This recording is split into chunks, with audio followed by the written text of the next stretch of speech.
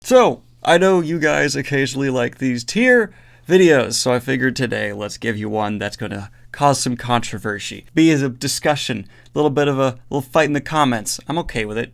Go at it. Just be respectful and polite. And this video is brought to you by Skillshare. Skillshare is essentially a haven online for the creative types who want to pick up new skills surprisingly. It doesn't matter if you're looking to change your career or just pick up a new hobby. Skillshare has thousands of online classes for you to pick up and start whatever your next adventure is. The hardest part about picking up a new hobby or getting into a new career path is that initial bit, the get going, the get started. Skillshare solves that problem because they have someone who's an expert in the field giving you a lesson on how to start that specific thing. I know a lot of you are creative writers who are getting getting their little story told because you message me and I can't respond to all of you. What I can do is say Skillshare as a creative writing 101 class. A lot of you also ask me how do you read as fast as me? Well, guess what? Boom, read better faster. Triple your speed reading in just 7 days. Class on Skillshare. I gave it a bit of a look. It's a good advice. There's some stuff in there that I might start doing. And I just want to mention this one has got a crazy ass title for the course and it's also pretty cool.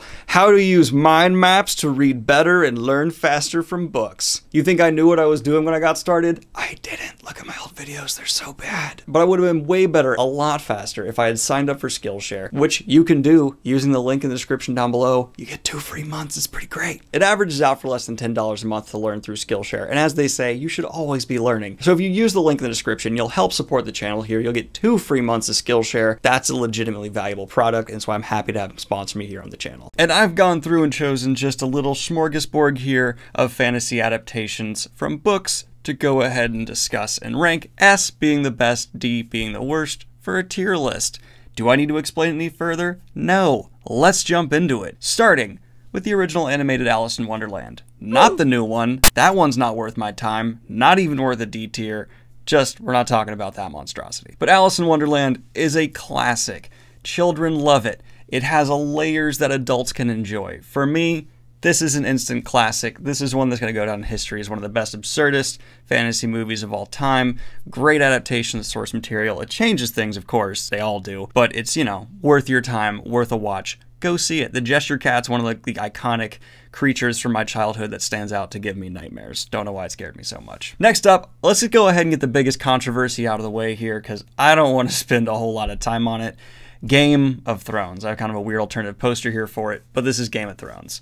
And it starts so high. Like if, if Game of Thrones had maintained its highest tier quality all the way until the end, it would be in debate for S tier, but it completely falls apart towards the end, and it's not very good. Is it the worst thing ever? No, it's just that by comparison to how good it once was, people are upset and angry. So for me, it's kind of hard to rank because there's things that are this good and there's things that are this bad. Not this bad. It's not like it's not like the incredible Hulk bad, but it's bad. So for me, I'm just gonna average it out to B because um, there's definitely things that go as low as CD and then there's things that go as high as SA.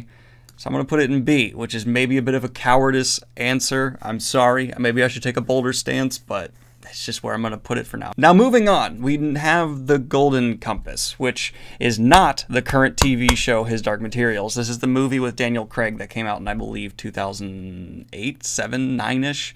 And this one was bad. Uh, much worse than the current show. I don't think it's the worst thing ever. I'm going to put it in C, which is below average. It's not good, but they, they had some nicer elements to it. I get oh, it's such a betrayal of the source material. And the, you know what? No, no, no, no, no. I'm putting this D because of what they did to the ending. And for those of you who are His Dark Materials fans, you'll probably back me up on this. That kind of back down, that kind of pulling away from the source material, unacceptable. Now we have one that's like special from my childhood. And this is the Dungeons and Dragons movie. I am well aware a bad campy movie. Uh, not bad. A, a campy movie. There's villains that are just cheesing it up as the actors, which is so much fun. The effects are not great, but it's fun. Like it's a lot of fun. I enjoy the Dungeons and Dragons movie for its camp, for its ridiculousness, and I don't think there's a whole lot to hate. I mean, it's eh, it's ah, oh, nostalgic. Got to remove the nostalgic glasses. All right, I'm gonna put it in C, but just know that in my heart, this is a B. This is a B in my heart. Um, but I, it also feels weird and wrong to put that next to Game of Freaking Thrones. Now we have the Never-Ending Story, a amazing movie in my mind. I love it. I'm gonna put it in A. Hey, we actually filled out each one. I didn't mean to do that, but we did that. But for me, Neverending Story is A. I don't get the people who think it's like as good as the greatest fantasy adaptations of all time. I think it has some pretty big flaws, but it's still A. I still am going to show my whatever nephews it one day or something, and that'll be uh that'll be one for the ages. Now we have the sword and the Stone, a cute little kid's cartoon about Arthurian legends. Um, again, I need to work on removing my nostalgia glasses here, trying to get them off my face. They're one to stick on. I'm going to put it in B. It feels really weird to put that next to Game of Thrones, but I, if I remember correctly, there's just it's a nice campy cartoon. There's nothing really flawless or incredible about it. Uh, I need to. I wish I'd rewatch that before doing this, but I, am gonna rank this a floater. It's a flo- it's a floater that I'm just gonna leave in the B tier for now because I'm not entirely sure where that goes. Chronicles of Narnia. I don't like the source material. I don't like these movies, and I'm gonna go ahead and put them in D tier. Sorry, Narnia fans. Well, no, a lot of you people dislike these movies too. So can we just can we just all put this in D and then walk away? I mean, I know if I was a Narnia fan, putting it in D, it'd be different because you're like, yeah, you dislike these movies like I do. But since I'm not a Narnia fan, it's like someone who's not in your team dissing your thing. I don't know. I'm putting it there. I hope that's okay with you. It's where I think it belongs. Eragon. Oh, my beautiful, sweet summer child. Um, sweet baby little angel. I, uh, man. Okay, uh, it's not good. I'm, I'm gonna put this in D as well. It, that's not the source material's fault. Eragon could be a good kids fantasy movie one day. It's obviously this is this is not very good. Man, the D is getting heavy here. That's what she said. Um, but for me, I just can't give it much credit because Ugh, it's not the best. Uh, I hope to see it done again someday properly. Maybe that'd be fun, the Inheritance Cycle, but I can't give those movies credit at all. Next up, we have the Harry Potter movies. Um, I don't think many people are going to argue with me that this is a very good adaptation. You can dislike Harry Potter, there are certainly problems with it, but overall, this is a good adaptation. I'm giving Harry Potter S tier because it's pretty much the definitive adaptation. No one's asking for it to be done again. The fans are happy. People who weren't fans of the books are happy. Wins for me. Next up, we have one that no one remembers, but I do because when I was young and there was I stuck in my head because of that, and that is the Beowulf movie. Oh, it's not good. Definitely not up there. It is a CGI weird show where they decided to not do live action instead of motion capture before motion capture was ready for being motion capture. I think they were inspired by like Smeagol and Lord of the Rings. They're like, what if we just did everyone like that, but worse? And it has this horrific uncanny valley just throughout the entire process. Also, the movie itself is just not great. I'm putting in C because there's some ambition there. There's some like interesting aspects. The action's not horrific, and there's some good horror elements that certainly scared the crap out of me when I was a child. Yeah, but overall, that's going to be a C for me. Ah, maybe maybe that should be D as well. There's a lot of bad fantasy adaptations. Moving on, we have oh, my The Hobbit.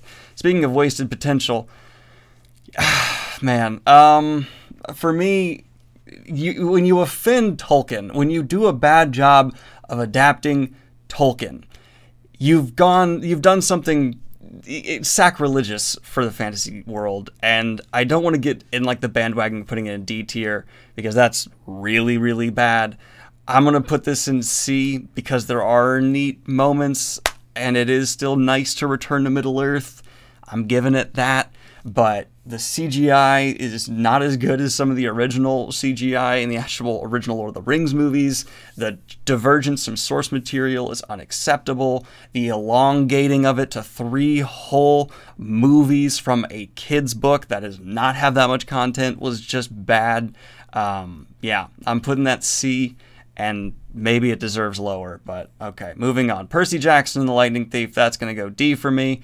The creator of Percy Jackson himself has come out and distanced himself from these movies. He does not like them. I don't like them. I read, I think, one or I read a couple of the Percy Jackson books. I think a long time ago in like middle school, and they were huge.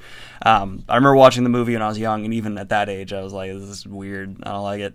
Um, I've gone back and seen it since then, and it's it's not it's not good. It's just it's flat out, flat out not good. The Princess Bride is going to go S tier in terms of fantasy adaptations. Before fantasy adaptations were what they are now, this was the absolute top of the bar. The Princess Bride is funny. It has some campy effects, but hey, it kind of just works with the tone they're going for. Has Andre the Giant? That's an instant win. And Princess Buttercup and the Dread Pirate just ah, everything about it is great. Uh, the left hand right scene, hand scene is like something when I was fencing I was a younger kid was something I like always wanted to do. Of course, I never did because I was never that good at sword fighting or fencing. But it stuck in my head every match I had. Uh, it's basically a perfect movie. Like when they, they the rumor went around recently that they might be trying to remake it, and everyone simultaneously said no, I think we were all in agreement. We were all like, yeah, this is not something that we should do. This is bad. And that's that should let you know how good it is. When the entire world can unify and say, no, don't remake this masterpiece, you got a nest here. The recent or current Witcher show. So going off the first season, I eh, eh, this is weird. I'm in the middle. I liked it every one of my comment sections is either screaming that it's the worst thing ever or it's the best thing ever. It's either a 2 or like a 9 to these people. And I'm sitting here at a solid 6.5. Like this is why I think I think you guys both have good points. That was good and that was bad. Ah, um, so I'm just gonna put this in B, and uh, I'll be reading the comment sections to be like, "Hey, uh, what do you all think?" because uh, I, I thought it was good. I thought it was fine um, and nothing really above that. I'm really excited for future seasons. Stop, not, not now. I always forget to turn off my volume. I'm really excited for future seasons because I think it has a lot of potential to get better. Moving on to the Lord of the Rings trilogy, the original one. Man, this this S tier is weighted heavily, but yeah, it's freaking Lord of the Rings movies. It changed cinema. It's the most Oscar-winning set series of movies ever. It redefined what visual effects could be. It basically proved that yes, a grand epic fantasy story can be adapted true to the books. There are some changes, but they're understandable. I mean, there's a reason people will sit through like the 16-hour director's cut because it's it's just every moment's every moment's beautiful. Every moment's great. Uh, truly epic cinema and definitely an S tier. The current His Dark Materials show. I, I, gave it like a 7 out of 10, and I stand by that. Um, there were some really great things. Lin Manuel Miranda's acting is the worst. Sorry, man. Uh, and I think the visual effects were impressive. The bear especially looked good. I really like the sound design for the bear. Uh, I, I mm. how do you go from casting Sam Elliott for that role, who was dead spot on, awesome, just bring him back for Christ's sake, to Lin Manuel Miranda. Okay, if you have those two actors cast for the same role, one of them's wrong. And guess which one's wrong for this role? Uh, gosh. Um, so for me, I'm feeling uh, okay. I, I, it's not just that. There were other mistakes in the show as well, but there was also phenomenal acting from Mrs. Coulter, especially. I want to, yeah, I'm, I think I'm going to go B here. I'm going to go B as well.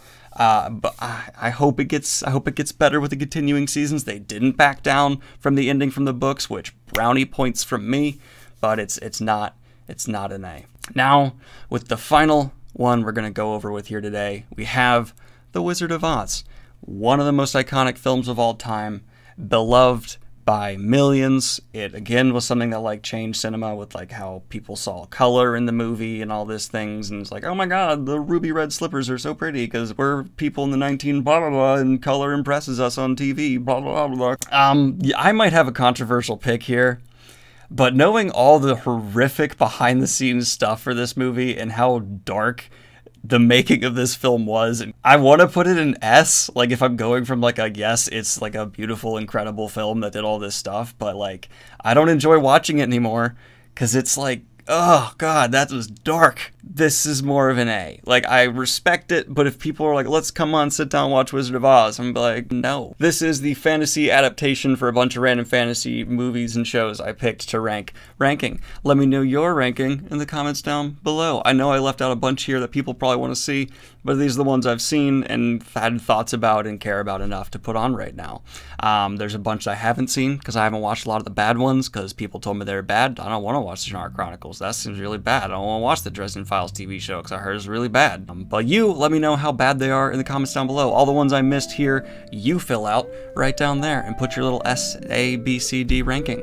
Anyway, guys, like and subscribe if you have not already. Hit the Patreon if you want to support what I do here. And have a good one, y'all. Peace.